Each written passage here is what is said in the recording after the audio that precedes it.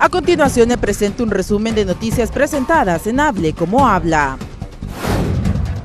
La primera dama Ana García de Hernández visitó la oficina de la juventud donde se genera empleo joven. Estamos aquí junto con el alcalde Carlos Miranda, con nuestra gobernadora, para poder conocer los resultados de este proyecto que se suscribió hace algunos meses atrás y que tiene que ver con la generación de oportunidades para los jóvenes y que de esta manera pueda evitarse la migración irregular hacia Estados Unidos.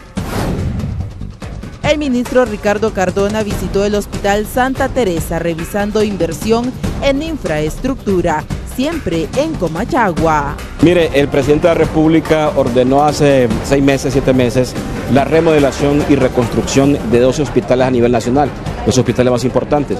Y uno de ellos en la zona central es el Hospital Santa Teresa. Hoy venimos precisamente por instrucciones de él a supervisar cómo va esta obra, porque mm, a él interesa que rápidamente se concluya esta obra de remodelación, porque después viene un equipamiento especial para todo el hospital.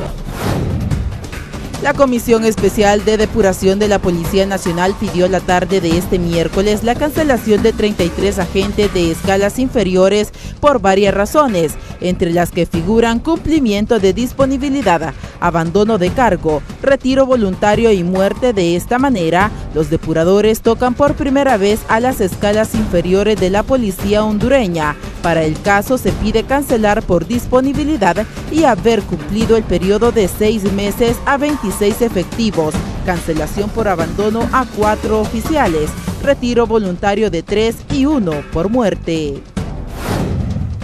Mientras los jóvenes estudiantes del Alma Mater se divertían y tomaban nuevamente las instalaciones de la Universidad Nacional Autónoma de Honduras, los jóvenes que sí quieren clases están bajo el pendiente de que se cancele el periodo.